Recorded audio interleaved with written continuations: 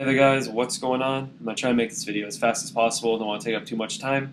But as of today, iDevice Review Guy has been around for a full year.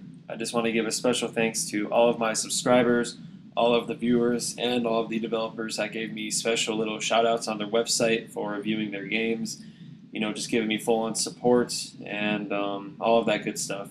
Just want to thank everyone out there that's helped me get on my feet and has pretty much got me going. Um, what I hope to accomplish in the next year is to definitely get a lot more subscribers than I already have now. Definitely push out a lot more videos than I did last year.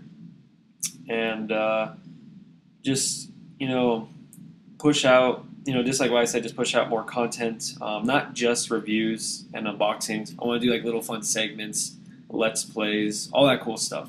You know, I'm working on a bunch of cool little things to reach out to a more, you know, wider audience and all that and um, you know, just all all around good stuff. But um, yeah, all right. So I'm just gonna stop the video right here. Um, once again, thank you to everyone who has helped me get where I am today. It absolutely means the world to me, and hopefully we'll make the next year even better than the first. All right, guys, take care.